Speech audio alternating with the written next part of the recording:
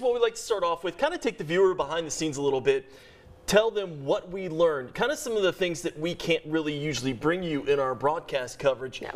Stuff that we cover that matters and stuff that we quote unquote learn. So, what did you learn this week? This week I learned Hailey Van Lith. Mm-hmm. She is coming into her own. We're finally seeing the pure shooter that we saw at Louisville. She's comfortable. She's smarter with the basketball. She's taking good shots, not forcing it, and knocking down some big time shots as well. Everybody thinks it's easy playing the point guard position, switching from the two to the one, but it is not. I played both positions.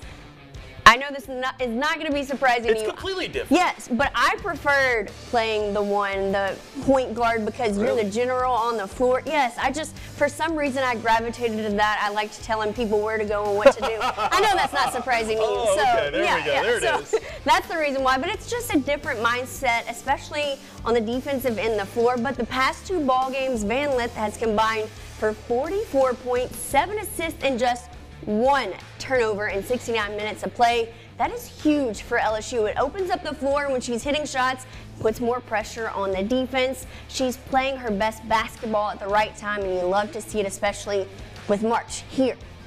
All right. Yes. Here's what. Here's what I learned. Just take a deep breath. I'm Mm-hmm. just trying not to get too fired up.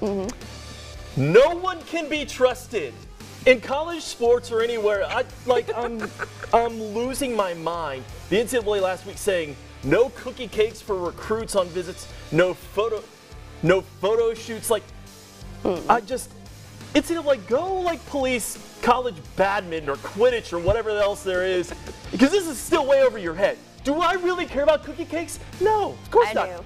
But, I love okay, it. There you go. So good. She's the one. But this is the stupid minutia that they seem to waste their time on instead of being a legitimate organization. But here's the problem: who do we trust? Yeah. Because the, the college powers that be now in college football, the Big Ten, the SEC, you see the commissioners there, can't seem to understand anything other than the bottom line and more, more money. They want a 14 team playoff now in college football.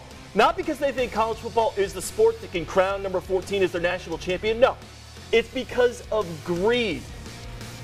But that's everywhere now in, in, in our society. I saw online today on Twitter actually, Five Guys, if you order a burger meal with fries and a drink, comes out to $24 after tax. Oh my. So we need some good leadership, like everywhere, for the country, for the world, for our stupid Saturdays in the fall that are really, really important to us. And we're still not getting it from our leadership. So that's, I guess, what grinds my gears. Anyways.